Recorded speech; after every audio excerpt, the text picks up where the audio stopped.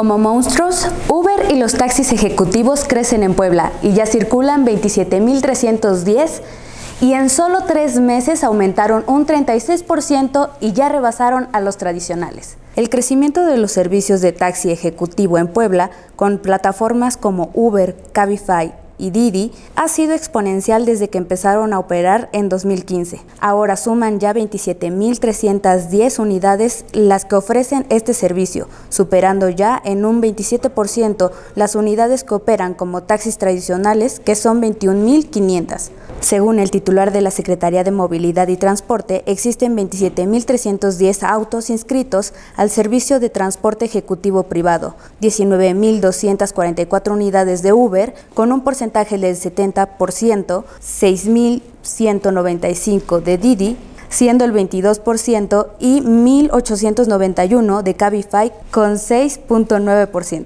Los primeros que llegaron a Puebla fueron Uber, que empezó a operar en junio del 2015.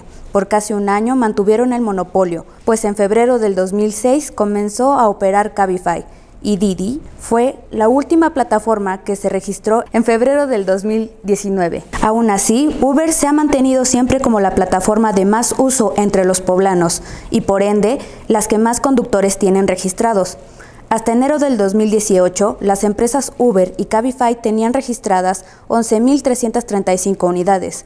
Uber ocupaba el 45% del mercado en Puebla y Cabify solo tenía 167 unidades registradas.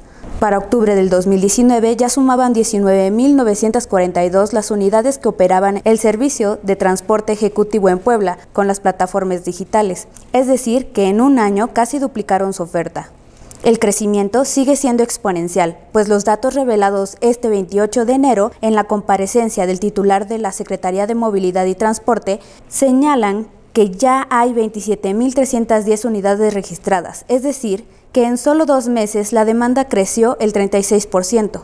El titular de la Secretaría de Movilidad y Transporte demandó reformas al Congreso local para regular estas plataformas, ya que la facilidad para inscribir socios, la inexistencia de requisitos para la operación de las plataformas y la falta de reglas para otorgar permisos fueron los factores a los que atribuyó el exceso de unidades.